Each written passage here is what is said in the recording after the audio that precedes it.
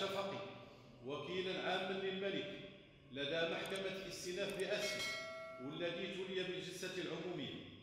وبناء على ملتمس السيد الوكيل العام للملك نصرح بأن السيد علي شفقي قد نصب في منصبه يومه الخميس 8 ربيع الثاني 1444 موافق 3 نوفمبر 2022 على الساعة العاشرة صباحا بقاعة الجلسات العمومية لمحكمة الاستئناف بأسف. بعد تجديد ثقة صاحب الجلالة محمد السادس نصره الله وأيده بإعادة تعيينه بنفس المهام على رأس النيابة العامة بمحكمة الاستئناف آه، بأسفي هذا التعيين وهذه الثقة المولوية بقدر ما هي آه، تشريف للمسؤول فهي أيضا تعتبر تكليفا يلقي بمسؤولية جسيمة على على هذا الأخير بحيث يتعين عليه بذل مجهودات جبارة في سبيل يعني إحقاق الحق.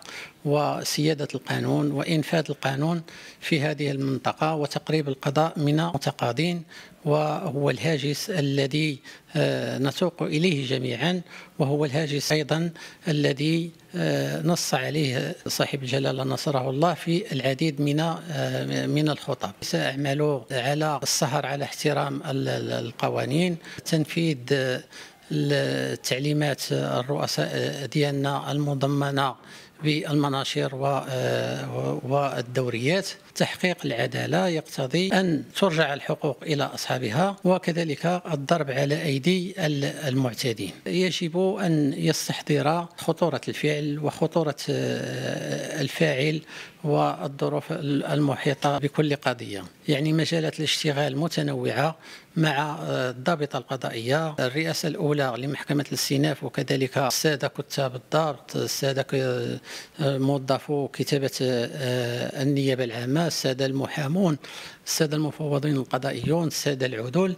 إذا الغاية كما قلنا هي آه، نسج واحد واحد واحد العلاقة يطبعها القانون ويطبعها الاحترام. كلهم يعني آه، فاعلون في آه، الإنتاج ديال العدالة. عدالة ناجعة عدالة فعالة عدالة تراعي ما ذكرناه وتوصل الحقوق إلى أصحابها.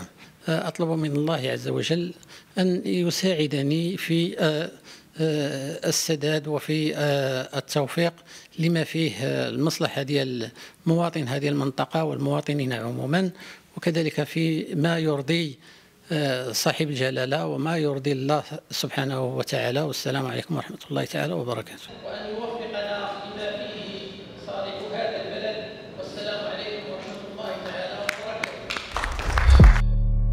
لا تنسى الاشتراك في القناة وتفعيل زر الجرس ليصلك جديد الفيديوهات من هيسبريس.